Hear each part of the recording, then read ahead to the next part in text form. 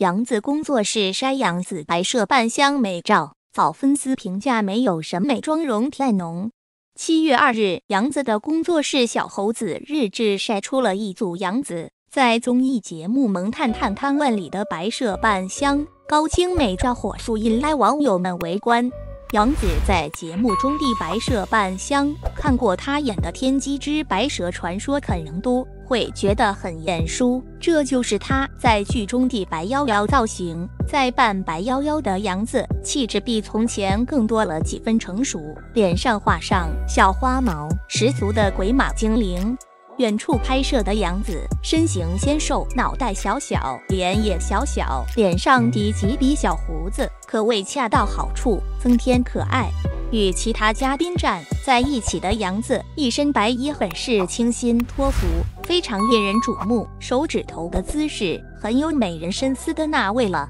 被法海绑住的白夭夭，可爱俏皮，令人瞬间脑补一场大戏。前几张照片都把杨紫拍得很漂亮，但这一张就有些美化过度，头部和脸部看上去有点奇奇怪怪，但还是看得出这样杨紫的这一张照片就立马恢复了自然，您最笑的样子就是杨紫本字了。拍摄角度和杨紫的状态以及北京都相得益彰。称得上是美照一张，这一张美照有种在拍电视剧的画面质感。杨紫后面的大概就是青蛇扮相的安别拉 baby，baby 也参与了这一期节目的录制。白蛇在前，青蛇之后，画面感倍增。顶着保持的杨紫，有没有像上学躺迟到被父子惩罚的既视感？不得不说，杨紫这身造型太好看了。近距离拍摄也是美美的，看起来还是比较自然贴切，没有之前那一张过度 P 图美化。不过没想到这组美照一经发出之后，工作室的评论竟然意外翻车了，有不少粉丝谴责工作室，质问工作室的摄影和妆发在干嘛？